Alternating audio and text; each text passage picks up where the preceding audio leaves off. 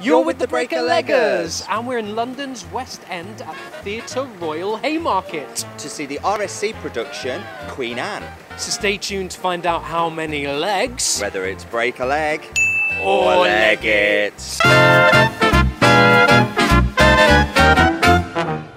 Before you go any further, To make sure you've always got your finger on the theatrical pulse, for theatre news, reviews, and interviews, hit the subscribe button now. Queen Anne. Um, what do we know about this piece? She was a queen. She was called Anne. Is that, is that as far as our knowledge goes? Um, this, um, I've got to admit, my historical British monarchy history isn't really up to par. Everything I know, I know from pieces like this. This production itself started off at the Swan Theatre at the RSC. In 2015, Yes. and it struggled to find a place in London, but here it is now at the Haymarket. Yeah, limited run. It's kind of plugging a gap here. Now we've seen other RSC productions at the Haymarket. It seems to be its natural home. It seems to gravitate into town. This is the story of one of um, England's lesser known sovereigns and her friendship with Sarah Churchill and the birth of the free press. It sounds um, interesting. Uh, if anything, it will be a history lesson because I too um, am not so hot on kings and queens and past histories. Absolutely. And as it's an RSC production, you're in for some fabulous weeks. We'll let you know what we think at the interval.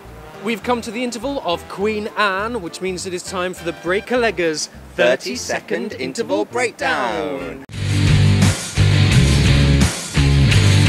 Go! What do you think so far? Yeah, for me, um, it seems well observed. Helen Edmundson um, has looked into the history. There's some nice touches, although the direction for me is lacking a little bit. Feels a bit lather, rinse, repeat. How about you? Yeah, there's something um, I imagine when it was originally done at the Swan Theatre with the thrust stage, it would have been very dynamic staging. Um, something seems to have been lost in its transition to a proscenium arch. Um, interesting content. I'm Yeah. excited to know what is going to happen next. I'm learning. We're learning.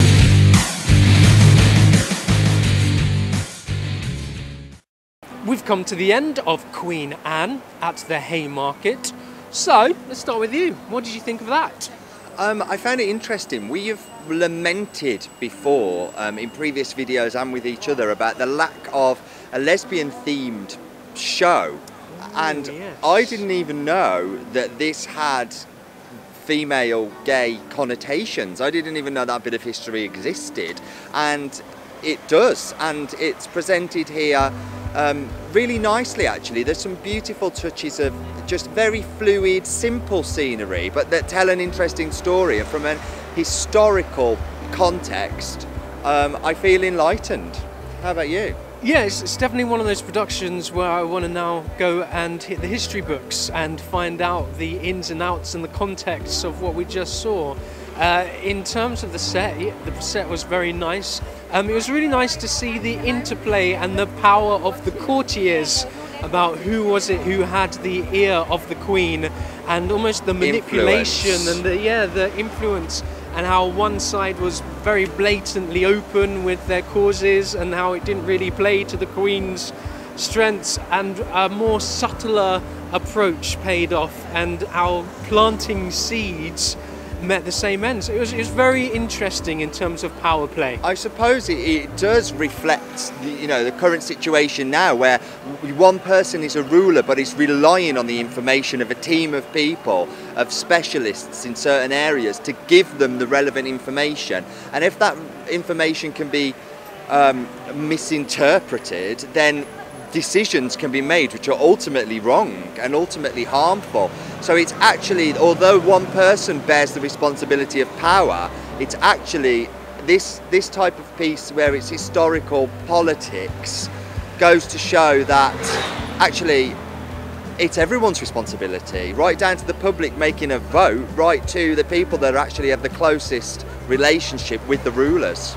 Yeah, and in terms of the writing, there's two very strong lead characters in terms of is the Queen Anne and also Lady Marlborough.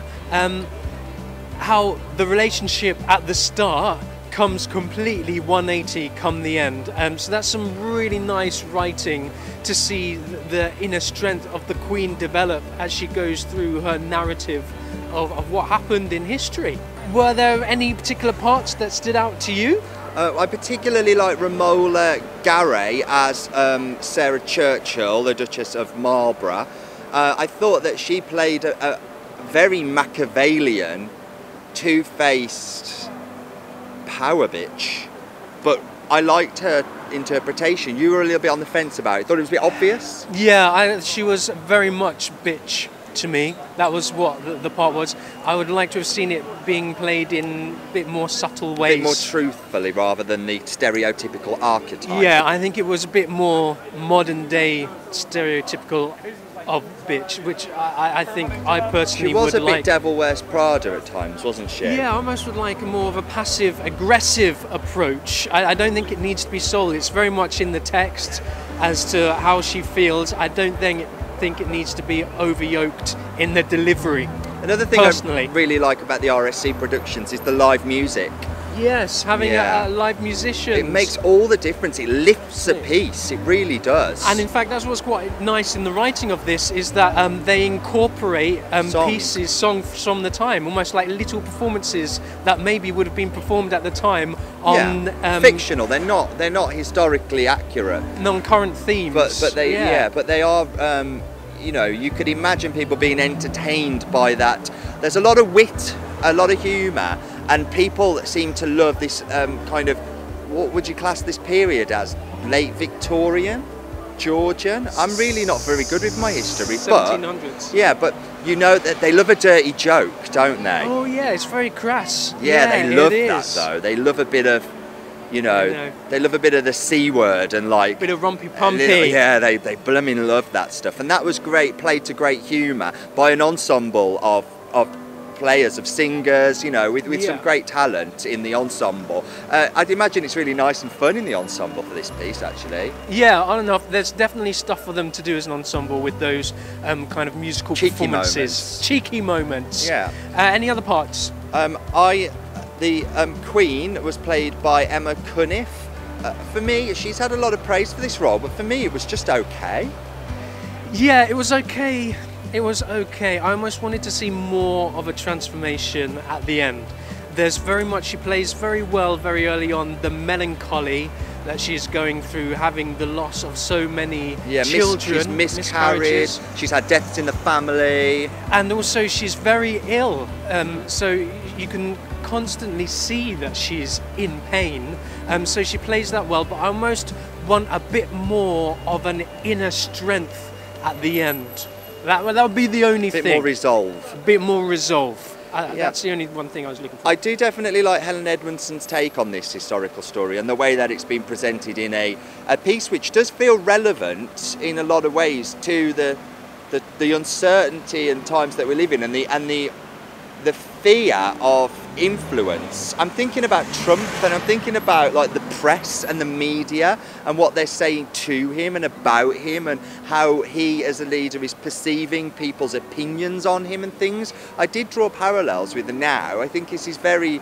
it's a very timely timely show. yeah it is it's just about the power play of court and advisors and someone being in control and who really pulls the strings Yeah. and who you have around you really influences the decisions you make. And something we touched on on the interval was um, the direction maybe working better in the um, in the thrust rather than the pros arch straight on. Um, but Natalie Abrahami has done her best with it, I think, having to transpose it onto a cross. Yes, I would have loved to have seen it in the thrust. I, I- it just has a different feel, and I could see that this. Piece I'd have loved the actors well with the thrust. audience at times as well. Like I'd have almost loved the the pieces where you're kind of in the pub and you're having all the dirty limericks and stuff. I would have liked that played out a little bit more to an audience. I think that would have been really fun. Yeah, you would have been really close to it, I imagine, Yeah. in the Swan Theatre. That's what we thought.